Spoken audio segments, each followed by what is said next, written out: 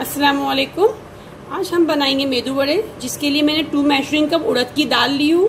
इसे हम वॉश करके सोक करेंगे ओवरनाइट अगर हम बस, हमारे पास टाइम कम है तो हम फोर टू फाइव आवर्स के लिए भी इसे भिगाएँगे तो भी चल सकता है।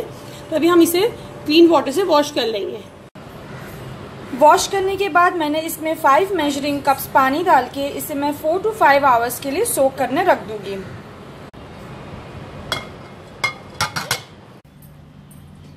इसे सोक करके हमने फोर टू फाइव आवर्स हो गए। अब हम ये पानी पूरा ड्रेन कर लेंगे।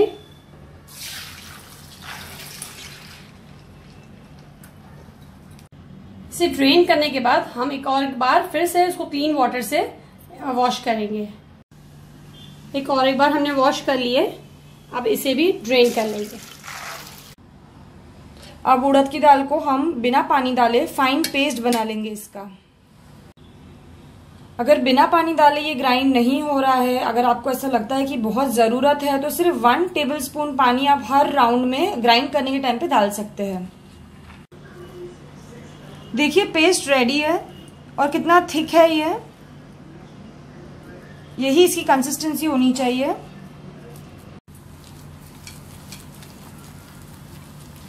इसे हम अच्छे से इस तरह से एक ही डायरेक्शन में बीट करेंगे। तो इससे जो मेदू वड़े हैं, वो क्रिस्पी और फ्लफी बनेंगे और हमें इसे approximately three two four minutes के लिए बीट करना है। मेदू वड़े के बैटर को बीट करने के बाद हम इन इंग्रेडिएंट्स को चॉपर में चॉप कर लेंगे। ये है थोड़ी सी कोतमीर approximately three tablespoon one inch ginger का पीस तीन हरी मिर्ची है, आप अपने टेस्ट के हिसाब से ज़्यादा कम कर सकते हैं और ये है दो मीडियम साइज़ कोकोनट के पीसेस और 10 से 12 कड़ी पत्ता भी हम चॉप कर लेंगे उसके साथ।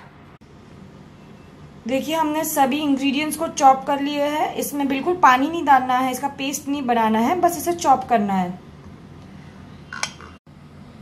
इसे हम हम मेदू वड़े के बैटर में ऐड कर देंगे।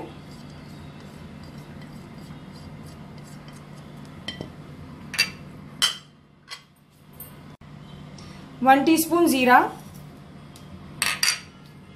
one teaspoon black pepper powder, one four teaspoon हिंग। ये डाल के हम इसे अच्छी तरह से मिक्स कर लेंगे। इसे हमने अच्छे से मिक्स कर लिए है। अब हम इसे तीन से चार घंटा कवर करके रेस्ट करने देंगे। इसे रेस्ट करके अब चार घंटा हो गया है। अब हम इसमें ऐड करेंगे सॉल्ट। आप अपने टेस्ट के हिसाब से सॉल्ट ऐड कर ले। और half teaspoon baking soda. और इससे मिक्स कर लेंगे।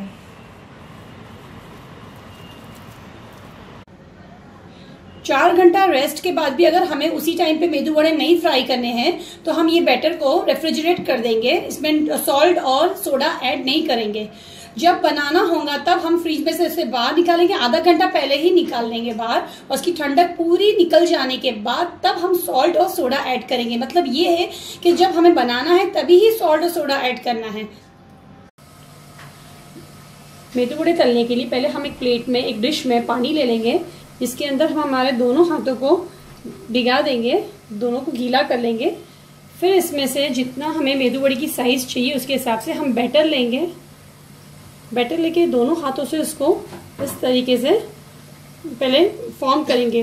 पेड़े की तरह फॉर्म करने के बाद हम हम इसके अंदर इस तरीके से गैप करेंगे। या थम से करो या मिडिल फिंगर से करो। हम इसके अंदर इस तरीके से होल करेंगे और ये होल को मेंटेन करने के लिए इस तरीके से फिंगर भी हम ऐसा करके फिर ऑयल में डालेंगे।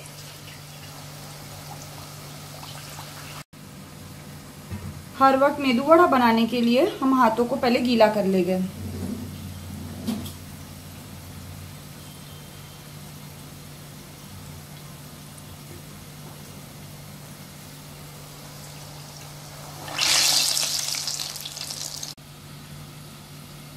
ये एक और मेथड हम आपको बता देते हैं।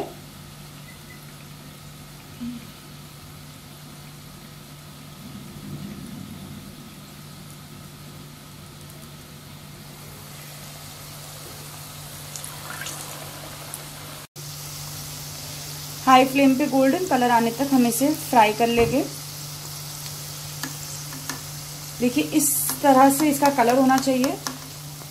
जैसे ये कलर ओपन होगा, हम इसे एक टिश्यू पेपर पे निकाल लेंगे।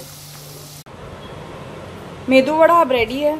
इसे हमने साउथ इंडियन कोकोनट चटनी के साथ सर्व किए हैं। चटनी की लिंक मैं आपको डिस्क्रिप्शन बॉक्स में दे दूँगी। और यह है सांबर जो गिट्स के पैकेट आते हैं सांबर मसाला के, उसी पैकेट से हमने ये सांबर बनाया है।